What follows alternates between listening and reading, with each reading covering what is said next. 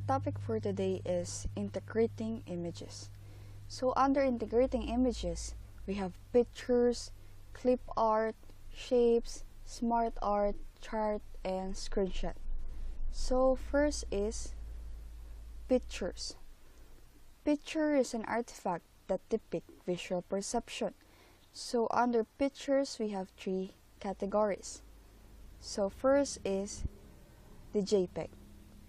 JPEG is commonly used method of lossy compression for digital images. So it is widely accepted.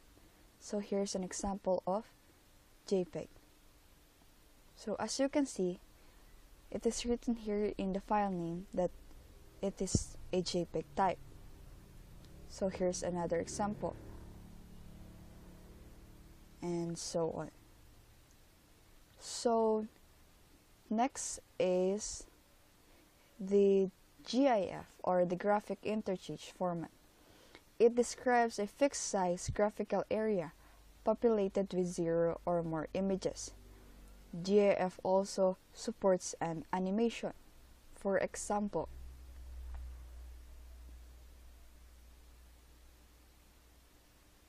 so here's an example.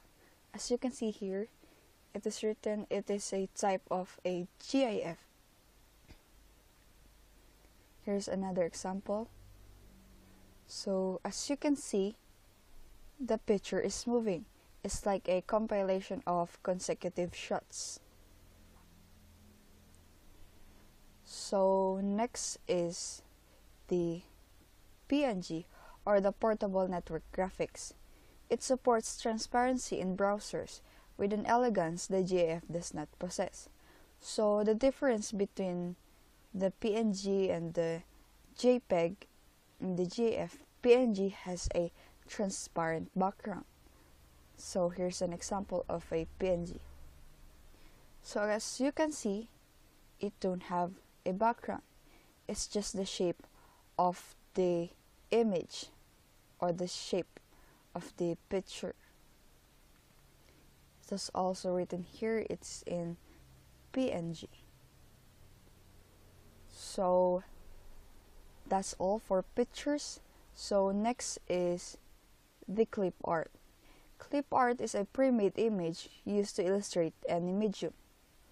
So in other Microsoft Word, the clip art is already available or is or installed. So here's an example of clip art. So you can choose here. Yes, that's all uh, for clip art. So next we go on to shapes. Shape is the form of an object, object or its external boundary outline. So you have different kinds of shape. You have lines, rectangles, basic shapes, block arrows, equation shapes, flow charts, stars and banners, callouts, and many more. So next to shape is the smart art. It is used to quickly and easily make a visual presentation of your information. So here's the smart art. There are different kinds of smart art. List, process, cycle, and many more. So, so example, here's an example. It is written here to it is written here a guide how you use a smart art depending on the type of the smart art you will use. So next is the chart. It is graphically graphical representation of data. So chart is oftenly used to see the difference of the data. So here's an example. So there are different kinds of chart. There are columns, lines, pie, bar, area, x and y scatter, stock, surface, donut, bubble, radar. So for example, let's use a pie.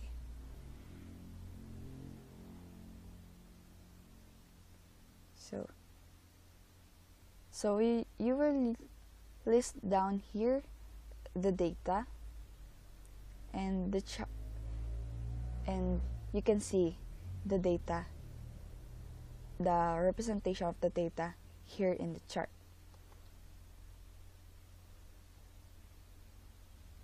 Like this. So next is screenshot from the word itself is like capturing the screen. As you can see the screen was captured. So here's the example of the screenshot that we made.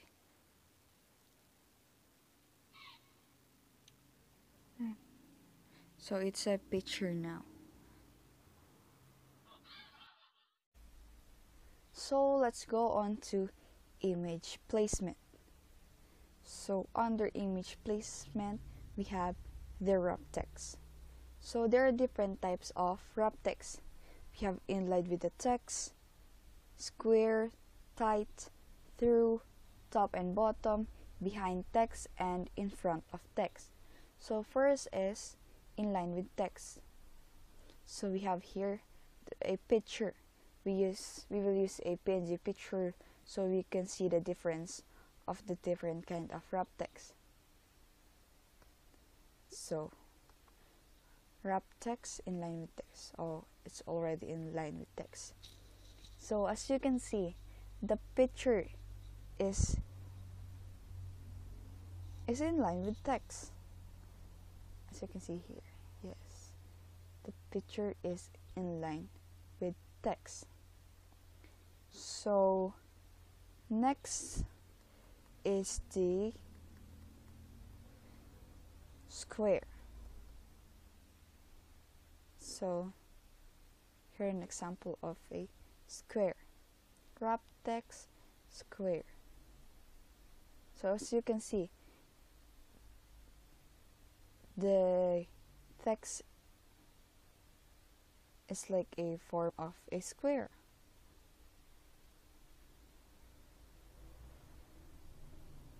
and let's go on to tight.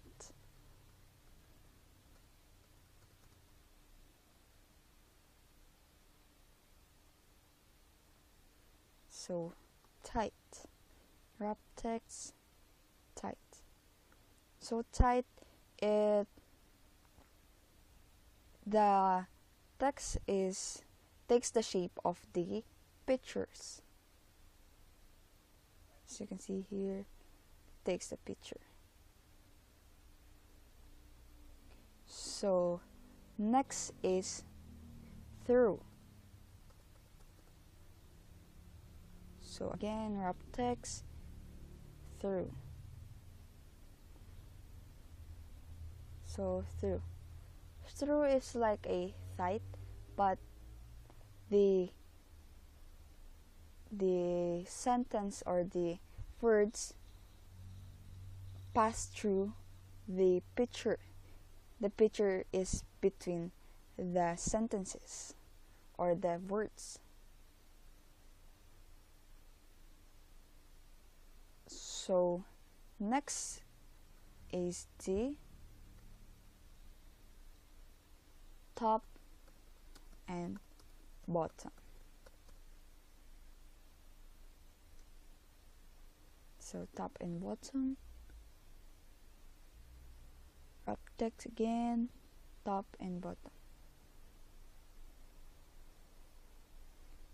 So as you can see the description or the sentences is at the top and the bottom of the image. So that's all for top and bottom. So let's go on to behind text. So behind text. So again wrap text. Behind text. So as you can see the picture is behind the text. Behind the text. So next is in front of text. So you can see the picture is now in front of the text. Sorry. It is in front of the text.